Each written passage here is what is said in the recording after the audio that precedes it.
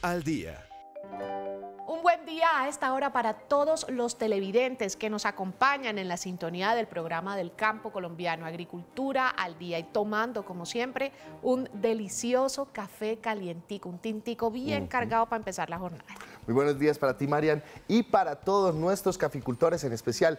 Hoy vamos a hablar desde Biotá, la vereda Alto Palmar, aquí en Cundinamarca, para conocer un eh, trabajo asociativo de caficultores. Usted se imagina lo que para estas personas significó tener una microcentral de beneficio comunitario, eso es muy bueno. Claro, fueron 23 caficultores que se unieron y que de verdad hacen que la unión haga la fuerza. Este es un ejemplo de una iniciativa caficultora muy representativa en Cundinamarca. No, y el esfuerzo cuenta con el apoyo del Ministerio de Agricultura, del Comité de Cafeteros de Cundinamarca, entre otras entidades. Ellos se unieron y con buenas prácticas agrícolas aumentaron su producción y su comercialización. Estos son los casos que nos gusta traer aquí en Agricultura al Día.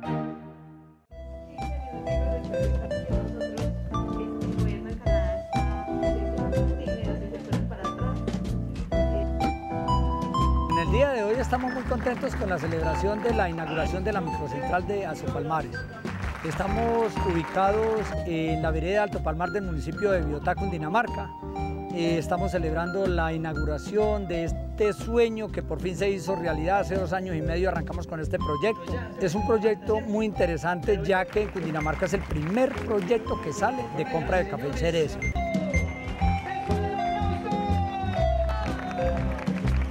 La Federación Nacional de Cafeteros de Cundinamarca ha sido indispensable el apoyo de ellos para nosotros poder consolidar esta primera etapa de nuestro proyecto. Esto no quiere decir que esto pare aquí. Nosotros vamos a empezar con la compra de café en cereza, pero el proyecto de nosotros es poder exportar nuestro café, directamente nosotros poder exportar nuestro café. La empresa canadiense Socodevi nos está apoyando tanto en la capacitación como en los contactos con los compradores de café extranjeros.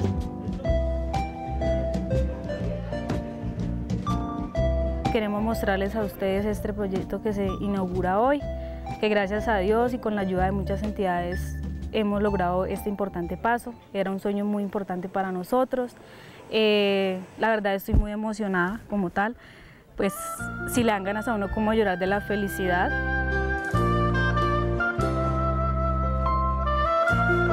Queremos darle los agradecimientos al Ministerio de Agricultura, que por manos de la OEI eh, fue posible tener los equipos que nos donaron, en el cual participamos muchas asociaciones, de la cual en Biotá solamente pudimos salir favorecidos nosotros con el equipo, pero con esto le estamos demostrando a las demás asociaciones de que sí se pueden. Queremos resaltar que estas ayudas que dan, eso eh, fortalece la paz de Colombia, ya que con esto le demostramos a nuestros jóvenes que no necesariamente tienen que irse a las ciudades para de pronto desempeñar un cargo importante, que ya que tanto en las microcentrales también vamos a necesitar profesionales en la parte contable, en la parte administrativa. Eh, de una u otra forma, esto contribuye a la paz de Colombia.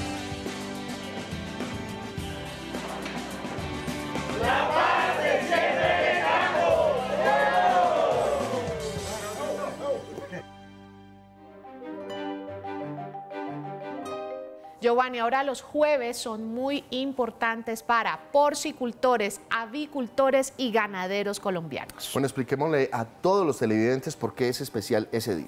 Pues que nuestros productores pueden ser protagonistas en la rueda de negocios de Viva Voz que organiza la Bolsa Mercantil de Colombia, actividad que tiene lugar todos los jueves en las instalaciones de esta entidad justamente. Se trata de un negocio incluyente donde todos participan, bien sea como punta que demanda o como punta que oferta, facilitando la compra y la venta de materias primas como el maíz amarillo y la torta de soya de una manera más transparente y segura.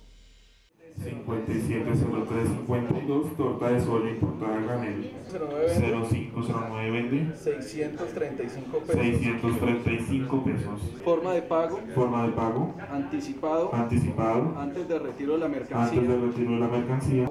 Bajo consignación directa. a través del sistema de compensación de liquidación de la bolsa mercantil. El programa de granos se está haciendo y empezó hace un par de semanas para suministrar maíz amarillo y torta de soya y en algunos casos maíz blanco. Se va a trabajar inicialmente sobre la figura spot, es decir, que se entrega muy rápidamente y se hace sobre el precio de la negociación de ese día. Bajo cotización directa. Eh, se aclara que Se aclara que es un físico disponible sin administración de garantías. El objetivo del programa es organizar un escenario de comercialización donde se puedan encontrar la oferta y la demanda de granos del país de una forma organizada, competitiva, eficiente y transparente para todos los que participan de este programa. Esto es muy importante en el desarrollo agropecuario de un país para ser más eficientes, reducción de costos, en otras palabras, competitivos. El jueves de granos está principalmente dirigido a sectores como el avicultor, porcicultor y ganadero del país, con especial énfasis en pequeños y medianos empresarios del sector agropecuario, para que puedan acceder a materias primas para alimentos a precios competitivos en el escenario de negociación de la Bolsa Mercantil de Colombia. Es importante que empiecen a averiguar y empiecen a participar y no les dé susto. Este es un mercado que se hace en todas partes del mundo donde hay bolsas de productos. Es dejar de comprar hecho y darle un poco más al trabajo a nivel finca. Esto va a desarrollar que ciertos profesionales de la nutrición eh, ganadera, pecuaria, vuelvan a resurgir.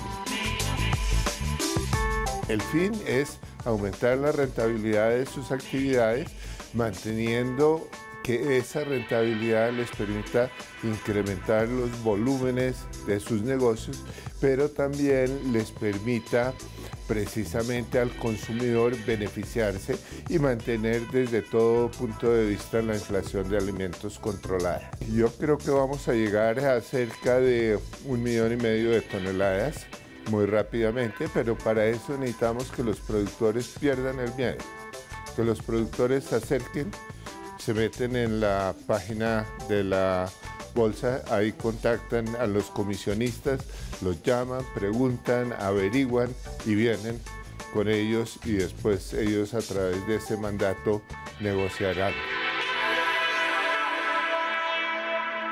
Para participar, el primer paso es contactar a cualquiera de las sociedades comisionistas, miembros de la Bolsa Mercantil, quienes se encargarán de brindar toda la información y asesoría que se requiera sobre el tema. Antes de ir a la pausa vamos a hablar de caballos, porque precisamente hace poco se aprobó la ley del caballo de paso fino colombiano. No es que ya están conquistando a la afición estadounidense. ¿Cómo le parece? Caballos de trote y galope se presentaron en Spectrum International 2017 en Miami. Fueron la sensación.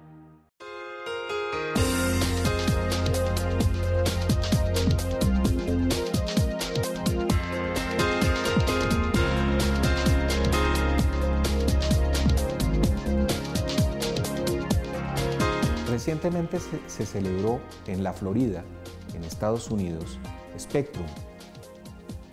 Y Colombia, a través de Fedequinas, hizo presencia activa en esta feria. ¿Por qué hicimos presencia? Porque el caballo no es solamente el de los espectáculos, el caballo es fuente de riqueza y el caballo se negocia y se exporta. Con la nueva ley lo haremos con muchas mejores garantías y con un trámite mucho más sencillo desde el punto de vista fitosanitario.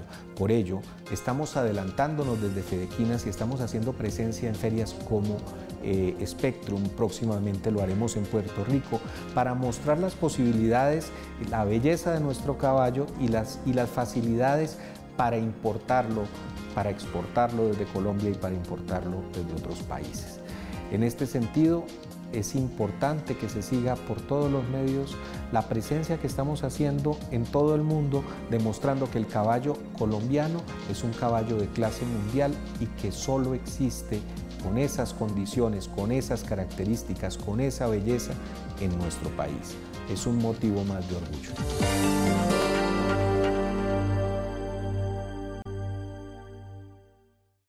Ya regresamos con Agricultura al Día. Seguimos con Agricultura al Día. Marian, me imagino que usted conoce el departamento del Tolima. Por supuesto. ¿Ha ido últimamente al Espinal? No, últimamente no he podido ir, pero sí sé que el Espinal es calientico. Y muy arrocero. Estuvimos con un equipo de agricultura al día recorriendo las instalaciones de una planta de semillas de arroz de fe de arroz ahí en el Espinal y vimos toda la tecnificación, desde el recorrido del camión con sus semillas, los laboratorios, el bodegaje, en fin, un proceso muy bien tecnificado. Y esta planta es muy importante justamente para la región central por todo el tema de almacenamiento y venta de semillas.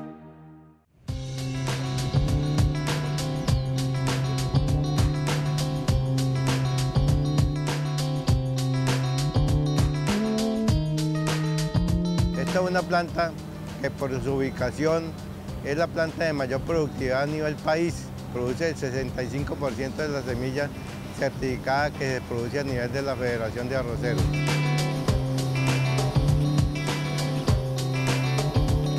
El agricultor despacha este producto a la planta de semillas.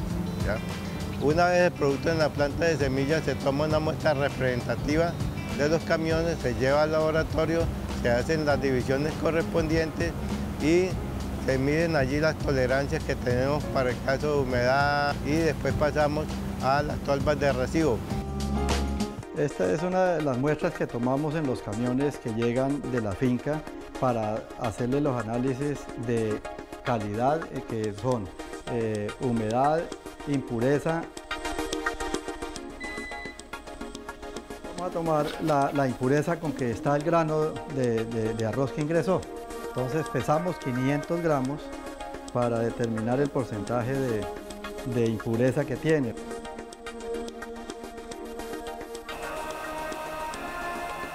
La impureza que salió, digamos. Se le agrega a la semilla un insecticida residual, se le agrega eh, un fungicida ¿sí? que protege la semilla durante la etapa de germinación en suelo que la protege de todas las enfermedades y ataques de, plagas que pueden haber eventualmente en este tiempo. Esta es la, forma como se hace el análisis para determinar la variedad de los problemas, las malezas, eh, grano rojo que traiga, que es un, arroz, pero es una, es una maleza eh, prohibida para eh, el procesamiento de semilla. Entonces, esta es la forma de hacer el análisis y aquí determinamos los granos que no pertenecen a la variedad y las malezas que puede traer, de campo. En este caso, pues el arroz, como le digo, está limpio, entonces no sé, la variedad está muy bien definida.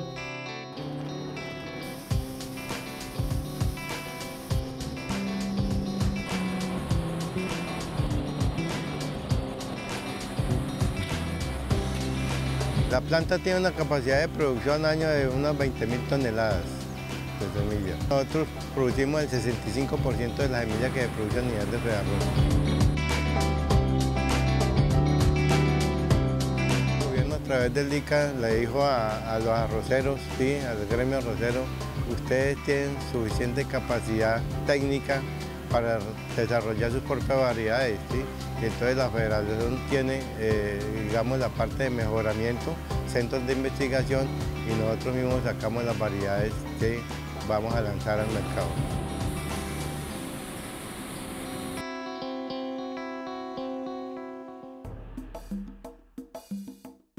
Y seguimos en la región del Tolima, esta vez para hablar de algodón, porque el ICA, como autoridad de sanidad, siempre está haciendo cada año controles para este cultivo. Claro que sí, el llamado es a los productores a respetar las fechas de siembra y destruir la soca del algodón en los tiempos indicados, teniendo en cuenta las dos temporadas de siembra que se dan en Colombia. Una de ellas entre los meses de febrero y marzo en el interior del país.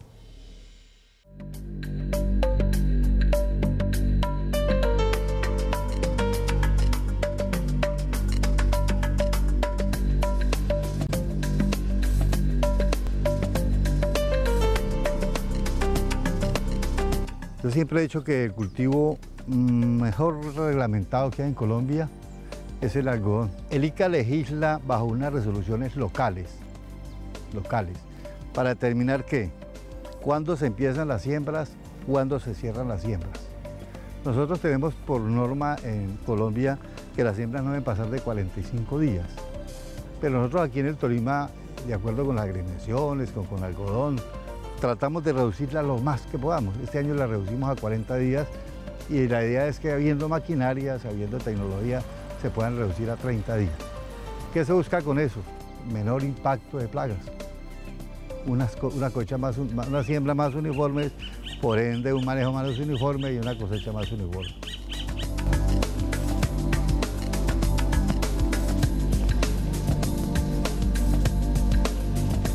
En el Tolima se estableció que esa resolución permite la venta de semillas a partir del 15 de febrero al 26 de marzo. Ahí tenemos ya el primer ciclo establecido, venta de semilla y siembra. Si usted me siembra un algodón antes de la fecha establecida, hubo un, error en quien vendió la semilla, quien la guardó, y el ICA toma como acción erradicar ese cultivo. Pero si hubo un algodón sembrado después de las fechas que el ICA estableció, pasa lo mismo, el ICA toma acciones y erradica el cultivo, o lo manda a. A partir de ahí vienen, vienen las etapas del cultivo, la etapa vegetativa, la etapa juvenil, la etapa reproductiva, la etapa de maduración y cosecha.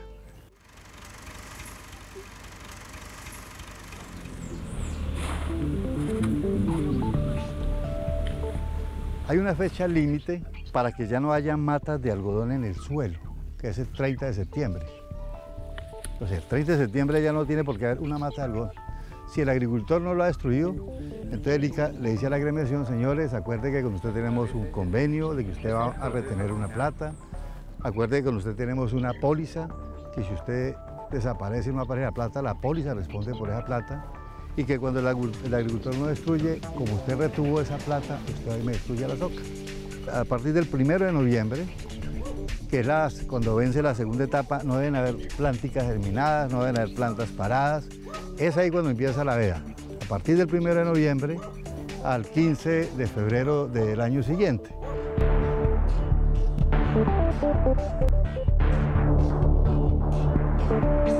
¿Qué se busca en los 120 días? Seguir monitoreando con las plagas como el picudo, vigilando en campo que plagas como las cochinillas, los trips, la mosca blanca, que incluso es una de las fuertes plagas, no haga presencia, o por lo menos en el cultivo que no haya matas que, que, le hagan atracción.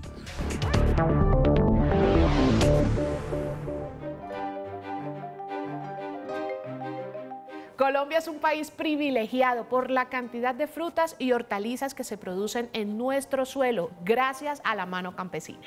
Por eso la invitación que hacemos aquí en Agricultura al Día es que siempre busque, pregunte y prefiera los productos del agro colombiano, porque si son de mi campo, saben mejor. Ya regresamos aquí en el Magazine del Campo Colombiano.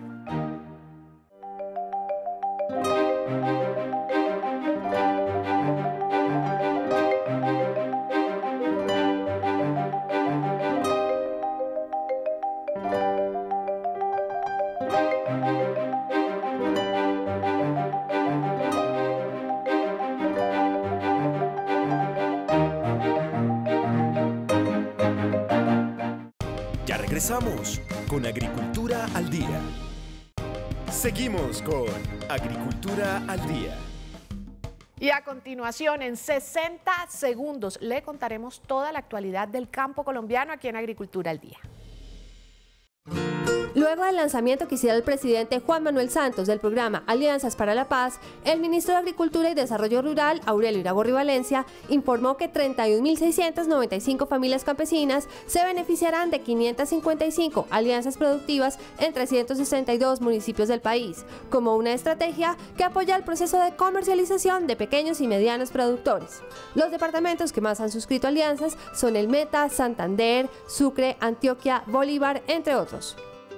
En mayo de 2017, la variación mensual del índice de precios al consumidor o inflación se ubicó en 0,23%. El grupo Alimentos presentó una variación mensual de 0,07% en mayo, 0,39 puntos porcentuales menos respecto a lo reportado en mayo de 2016. Los precios que más bajaron se registraron en alimentos como las naranjas, otros tubérculos y otras frutas frescas, una buena noticia para los consumidores colombianos. En el marco de la política Colombia Siembra, la cartera rural ha incrementado el incentivo al crédito para tecnificar el campo colombiano. Giovanni, en ese sentido, el Ministerio de Agricultura y Desarrollo Rural anunció el monto que será destinado a la adquisición de maquinaria y equipos con el objetivo de impulsar la modernización del campo colombiano, que es muy importante. Se trata de una gran cifra. Hablamos de 92 mil millones de pesos distribuidos en una bolsa que asciende a 70 mil millones para el incentivo a la capitalización rural ICR y 22 mil millones para la línea especial de crédito subsidiada LEC.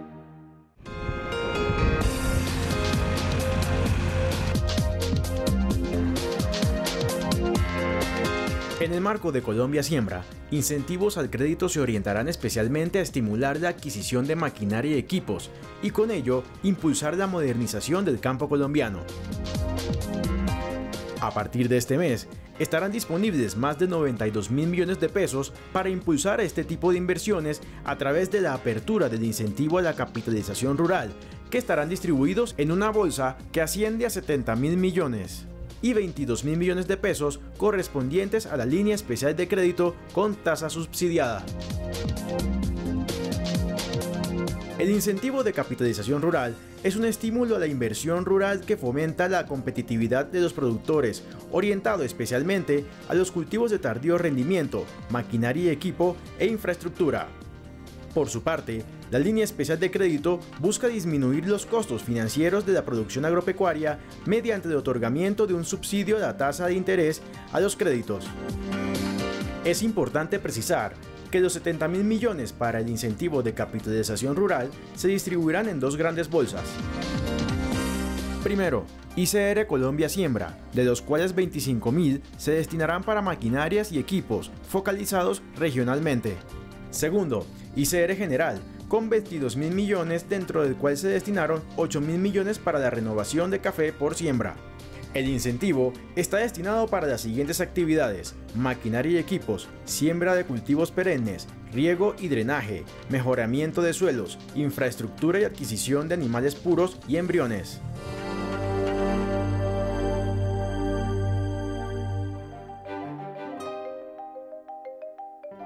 Y para conocer los programas que apoya la cartera agropecuaria, consulte siempre www.minagricultura.gov.co o recorra con nosotros las zonas rurales colombianas a través de nuestras redes sociales. En Facebook, Agricultura al Día. Y también estamos en Instagram como Agricultura Día, con las mejores estampas y fotos que toman nuestros realizadores. Gracias por acompañarnos aquí una vez más en Agricultura al Día. Recuerden, 5 de la mañana, Canal 1 con las mejores historias del campo colombiano.